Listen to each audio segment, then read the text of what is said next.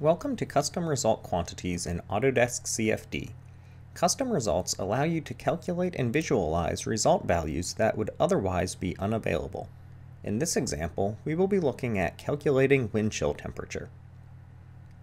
To begin, we'll be taking a simplified cityscape and creating an external fluid volume around it.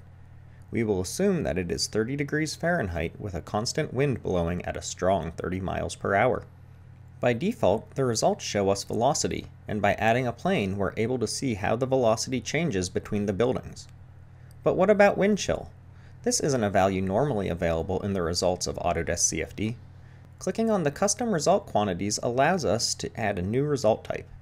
Entering the equation for wind chill, taking into account that our velocity is defined in feet per second, we will now have the new result. To ensure you have entered the values correctly, you are able to use the Test Equation button.